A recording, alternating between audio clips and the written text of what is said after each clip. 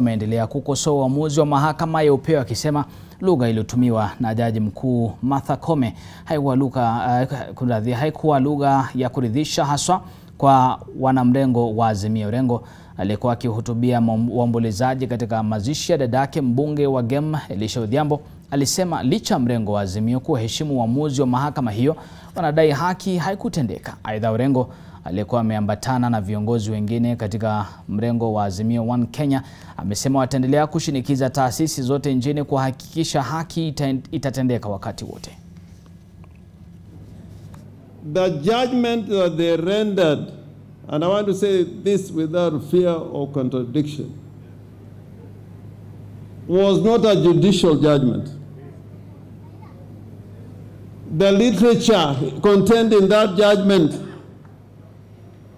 was not judicial literature. That was a political track.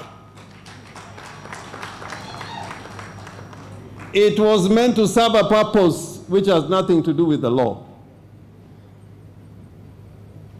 The person who wrote that judgment has done a great injustice to the rule of law.